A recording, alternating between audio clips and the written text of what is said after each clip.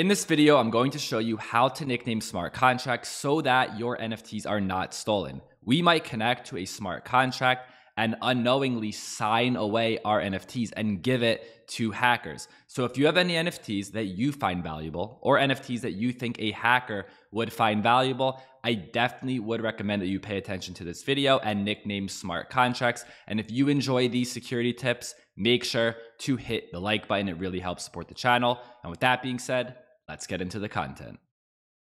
Welcome aboard the Bitcoin Express. My name is Chase. Let's get to it. The reason that we are nicknaming smart contracts is so that if a hacker ever tries to steal our NFTs, we will recognize it. We will be aware. So the first thing we are going to do is find one NFT from our project, whether it's an MFers, Bored Ape, World of Women, whichever project it is that you want to protect, go to OpenSea and find one NFT from that collection. Then scroll down to details and select contract address. It will then bring you to Etherscan. And once you're on Etherscan, you want to head over to contract.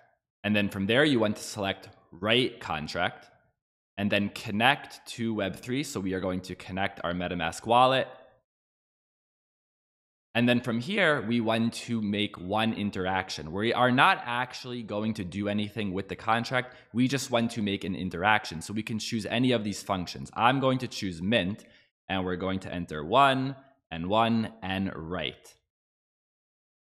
Then we will get a message box from MetaMask, and at the top it says new address detected. Click here to add to your address book. So we are not actually going to do anything with this transaction. We are only here to nickname it. So I will click over here and add nickname. And I will add the nickname over here of MFers. Or you would add whichever project it is that you are adding a nickname for, and then we will save it. So now in the future, whenever we interact with MFers or whichever NFT it is in question, when we get this notification, it will show us the name of the contract that we are interacting with. And this is how it saves us.